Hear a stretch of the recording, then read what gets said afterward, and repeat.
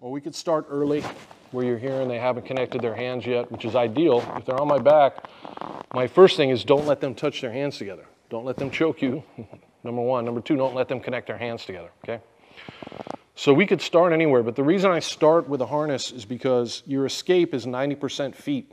It's your connection to the ground and how you learn to transfer your body weight. If you guys don't do that right, I can show you everything you need to do with your head and with your hands and everything else, but somebody that's got a decent back control is just going to move you back to the other side and they're going to choke you.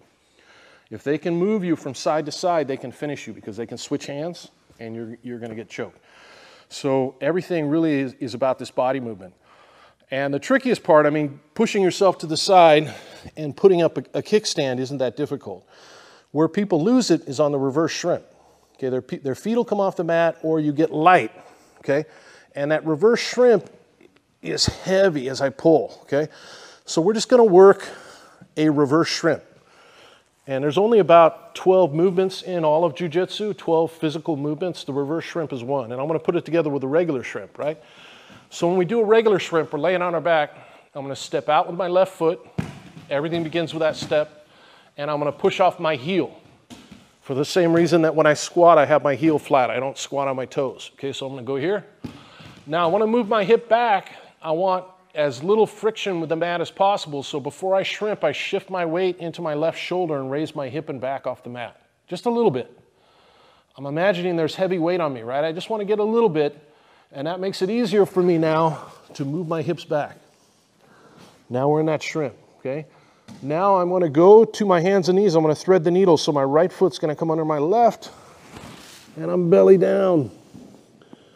Now from belly down, I'm going to go to an iron pillow. I'm to left, let, rest my head on my arm, and I'm going to bring my right leg up high. And now from here, we're going to do a reverse shrimp. So I'm going to push, well, pull really, from my right foot, staying heavy, and bring my, thread the needle again, and now I'm back here to my back. Okay? So we do a shrimp and a reverse shrimp. So again, transfer my weight, shrimp back, belly down. I could go either way. Foot here, back to reverse shrimp. That little motion, both those motions there, shrimp and reverse shrimp, make up probably half of what you do in jujitsu, especially when we escape. Okay, good. Now, second part. you guys have the body motion down and the weight down. I'm gonna get on your back head position. Okay, just remember you want to turn towards the arm that's choking you and you want to get that ear up against the chest. Exactly. He can't, I can't choke him there. And if I'm here, he can still do it if he drives the back of his head through my face. I'm just going to move my head, but you guys can test that if you want. So I'm going to do it a couple times slow, and then try and fake him a little bit. Right. Good. Okay. So that's the precursor. If they don't have their hands connected, if they're not in the harness already, you're going to see an arm come over. That tells you immediately which way you want to go and you want to lead with the head. Now everything else with your feet is the same. So though he's leading with his head now, and that's in reality when you do this motion against the opponent, that your head's going to probably move first, but your feet need to come with you. So as he does it, he brings his feet up, everything else same. Now it's a reverse shrimp. Good. And you can step out like that. You don't need to step out. Go back you can, because you may not be able to step out. So now just move this foot over here a little bit and now reverse shrimp from there. Look what happens to my leg. Like it cleared, it'll clear right off as long as you're heavy.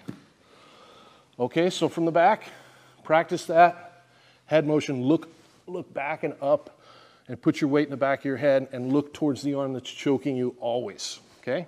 Try it back and forth on your own. Best ways to do this, if, um, okay you go here and you start with your head, get about here and you stop. And look at Liam's head. Maybe his feet aren't extended or not close, right? He doesn't have a lot of leverage here.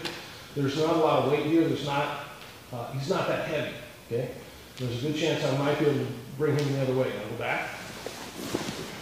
Now, same thing, but I want his feet to come close to his butt so he has more leverage. And now from here, push your whole body this way, leaning your head to the mat, right? Once he gets here, there's nothing I'm going to do on his back. All I've got here is mouth, right? So once you feel yourself going this way now, once you feel yourself going here, yeah, Now push yourself up a little bit. Yes, there. And now everything's a little solid. You guys can go ahead and stand up.